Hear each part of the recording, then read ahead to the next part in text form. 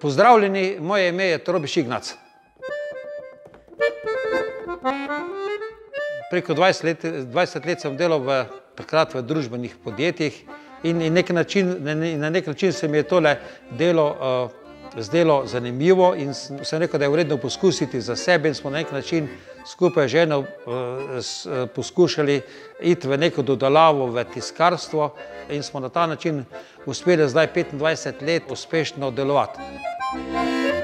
No, pogledajte, odlike dobrega podjetnika niso samo maksimiranje dobička, ampak širša skrb tako za zaposlene, eh, kot za lastnike podjetja in tudi za okolje, v katerem deluješ. To pomeni, da moraš tudi del prihodkov ali pa del dobička namenjati za društva v, v tistem okolju, v katerem, eh, v katerem živiš in deluješ in mi smo se na nek način tega držali.